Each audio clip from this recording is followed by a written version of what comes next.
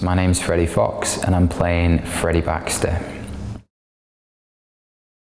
Cucumber is about true love and basest lust and everything in between. And it follows one character, mainly the main character Henry, and his journey through the, the various states of love and lust.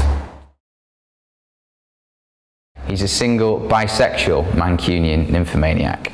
So he, uh, he has a lot of sex, and that's where he gets his power from, because he's good at it. Freddie's journey, uh, oh, it's, it's good, and it's filthy, and it's, and it's um, disturbing in moments, and also desperately good fun in others. He starts as a guy who's a bit lost, uh, he doesn't know what he wants, he doesn't know where he's going. He works in the canteen of Henry Best's uh, insurance company. And he has been moved from flat to flat from you know dropping in and dropped out of university. And uh, yeah he's a sort of he's, he's a he's a nomad.